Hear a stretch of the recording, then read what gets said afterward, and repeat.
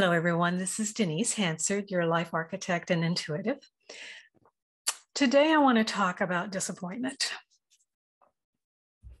No matter what it is, we all get disappointed at times. I know I've been disappointed lately in myself and the commitments that maybe I haven't um, held up on my end, just to myself, but also about the disappointments that are going on in the world uh, around us and yeah, I could start naming a few of them, and it's just not necessary because we all know what they are, no matter what our view is of them.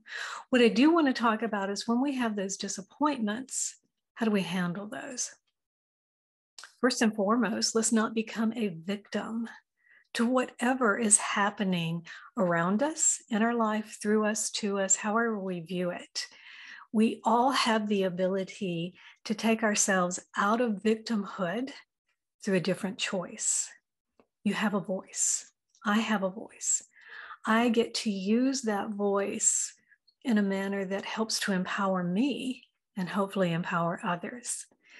And so for you, looking at something that you've wanted, and let's just say it like this um, going after something that you know you are fully capable of doing, and even you have the expertise in it and yet no one else sees that in you in the current situation. And it feels like time and time again you get rejected you get disappointed um, and you don't know what to do with it. And you do have a choice. You can fall into allowing that disappointment to make you a victim to your circumstances and the situations going on around you not in you.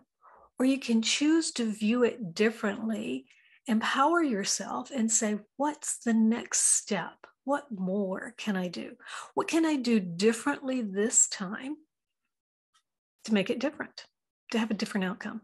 And it could be as easy as just empowering yourself for further growth, seeing things differently, and understanding that your journey in life is just that it's a journey. I think I heard the other day, it was something along the lines of no matter where you begin, you always have the same ending. And it doesn't matter the path you take, the path you're going to take is going to be the right one for you at this moment. And so for me, I look at it and go, okay, I'm not going to fall into victimhood on a disappointing time and commitment that I didn't live up to for myself. I'm going to readjust. I'm going to make a different choice and I'm going to move forward that way. You have a voice, you have a choice. So, no matter whatever is going on in your life, going on in this world, let's use our voice. Let's empower ourselves through compassion, respect, and our voice and our words to really make a difference, not only in the world outside of us, also the world inside of us. So thank you for watching. Thank you for coming back today. Thank you for being a subscriber. And if you haven't subscribed yet, it's not going to hurt. Go ahead, subscribe, like, share. Thank you.